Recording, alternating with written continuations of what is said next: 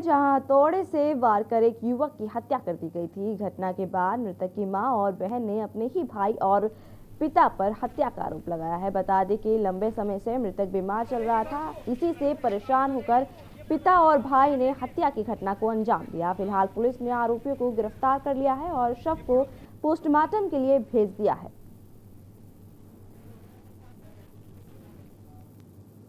फ़िलहाल के लिए इतना ही। बाकी की देश और दुनिया की तमाम खबरों को जानने के लिए आप देखते रहिए के न्यूज़ इंडिया